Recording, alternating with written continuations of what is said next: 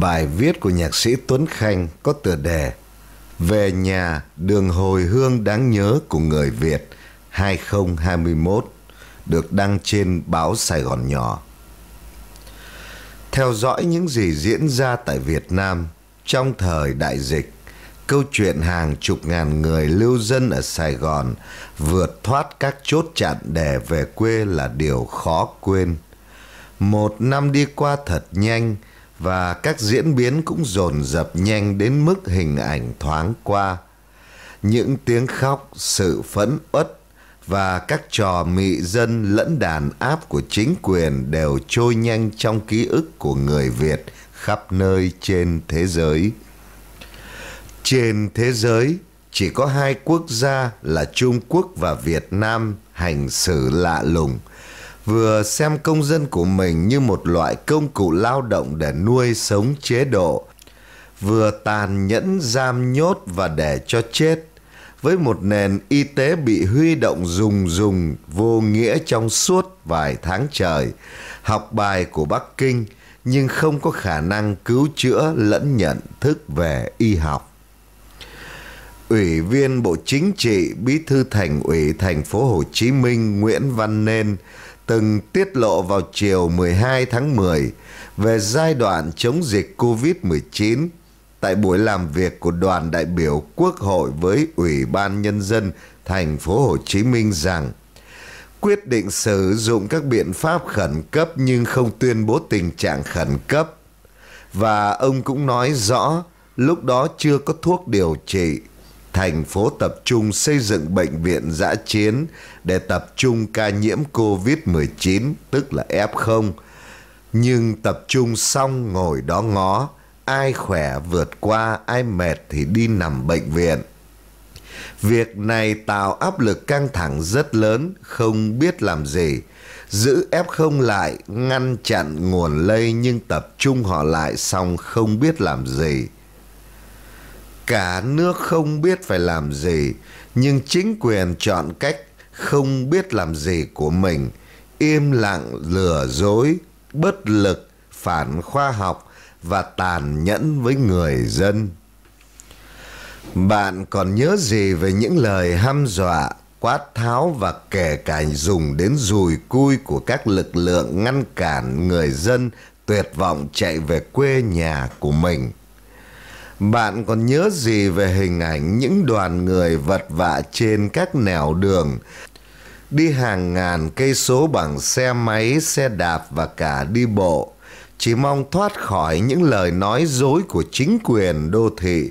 Về đến quê thì lại bị chặn lại, giam nhốt và phạt tiền. Và bạn còn nhớ gì về những câu chuyện người phụ nữ bị phá cửa để lôi xuống lấy mẫu xét nghiệm hay chuyện gia đình nghèo bị thảm sát toàn bộ tài sản 15 con chó của mình? Chắc chắn là nhiều người còn giữ lại cho mình những điều đáng nhớ trong ký ức nhưng rồi sẽ sớm tàn theo những dữ kiện mới đầy bất cập trên đất nước này vẫn diễn ra hàng ngày. Về phía chính quyền cũng muốn như vậy, hơn nữa, đội quân an ninh của họ vẫn luôn nhịp nhàng và im lặng xóa dần các dấu tích bất lợi cho mình. Facebook, YouTube, TikTok và trên những web khác vốn vẫn bị tấn công là cướp dữ liệu. Lâu nay, các hình ảnh và bài viết trên các diễn đàn chung đều bị xóa dần. Những cuộc biểu tình chống Trung Quốc từ năm 2006 cho đến nay thật khó tìm thấy tư liệu đầy đủ. Nhiều hình ảnh về biểu tình chống Formosa, chống chặt cây xanh, cướp đất thủ thiêm, dương nội, đồng tâm cũng biến mất kỳ lạ trên các trang mạng. Đó là thủ thuật xóa ký ức, xóa hiện thực để thế hệ sau, ngày sau sẽ không còn cứ liệu tìm về. Sài Gòn nhỏ đã quyết định thực hiện phần dữ liệu thư viện, cập nhật dần các sự kiện qua các tập san PDF, tóm tắt và giữ lại ở mức xúc tích nhất có thể, nhằm để làm nơi chia sẻ với mọi người bảo vệ sự thật để không bao giờ bị quên lãng mà mở đầu là tập san PDF mang tên về nhà với những bài viết hình ảnh được tuyển chọn trên không gian mạng những gì đã diễn ra trong cuộc tháo chạy khỏi thành hồ của người dân đều có thể tìm thấy và hiểu được với bất kỳ ai đây là chương trình được thực hiện lâu dài với nhiều tác phẩm tự do, dữ liệu đời sống để tặng đến với mọi bạn đọc về hiện thực của lịch sử Việt Nam đương đại. Xin quý vị hãy chia sẻ và gửi đến những ai muốn gìn giữ sự thật quanh mình. Tập san này xin được cảm ơn đến nguồn tư liệu từ BBC RFA, Dinh, Đất Trời, Thời báo chấm đi và các tác giả Phạm Minh Vũ, Võ Thạnh, Mạc Văn Trang, Song Chi, Tuấn Khanh, nhà thơ Nguyễn Tấn Cứ, Bùi Chí Vinh, Trần Tiến Dũng, Nguyễn Duy, luật sư Đặng Đình Mạnh, dịch giả Mai Sơn, bác sĩ Phan Xuân Trung và nhiều tác giả khác không kể hết hoặc không có tên vì do nguồn lưu lạc trên Internet tri thức và sự dũng cảm trước thời cuộc của các tác giả đã giúp Sài Gòn nhỏ tạo được một nguồn tư liệu trung dung để giữ lại.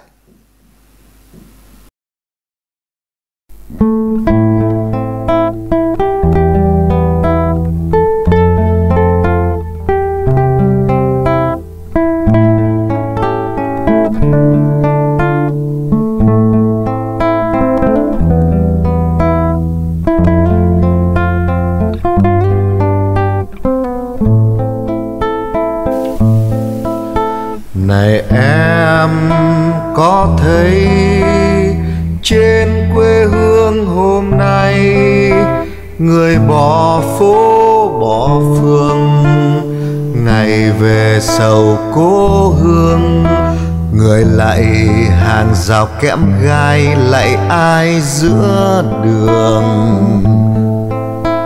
Này em có thấy thương cho nhau không em? Đời nghèo túng yếu hèn, bao trùm phận dân đen. Lại kẻ cầm quyền để mong, bình yên trở về.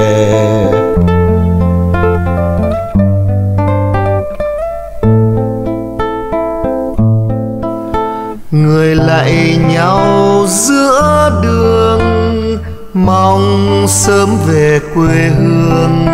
Nhang khói đã phơi bày, ngất cao nỗi đọa đầy. Giữa phố thị, người quy chắp tay. Người lạy nhau giữa đường, mong sớm về quê hương. Mang ngỡ như vào trận. Một cuộc chiến đau thương, thế kỷ đời việt buồn bưng mặt thảm thương.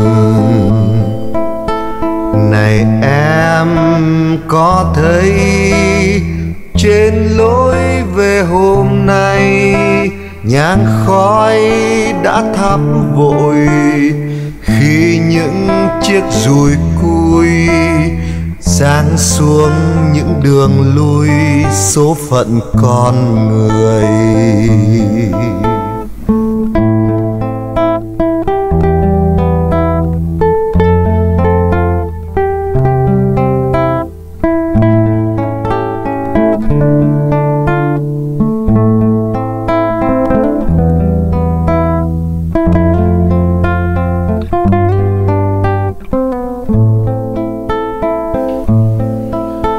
Này em có thấy trên quê hương hôm nay người bỏ phố bỏ phương, ngày về sầu cố hương, người lại hàng rào kẽm gai lại ai giữa đường?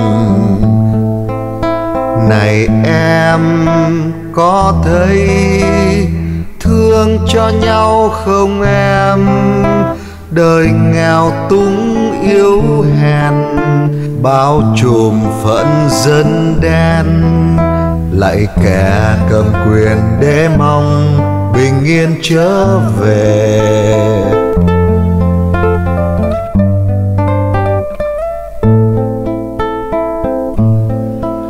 Người lại nhau giữa đường mong sớm về quê hương. Nhang khói đã phơi bày, ngất cao nỗi đọa đầy. Giữa phố thị, người quy chắp tay.